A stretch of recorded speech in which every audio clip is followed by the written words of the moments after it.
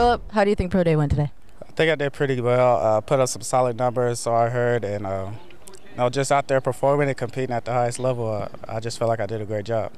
And I actually didn't see you participate in some of the drills out there. Why was that? Uh, I did those at the combine. I, I felt like I put up some good numbers there, and there was no need to uh, do it again here. So they have a number already for me, and they could just use that. And you feel overall you did pretty well? Yeah, definitely uh, improved my 40 time. Uh, actually did the change of direction because I didn't do it at the combine, and you know, just overall felt good about my performance today, and um, just had a great time, had fun out there. And where do you go from here?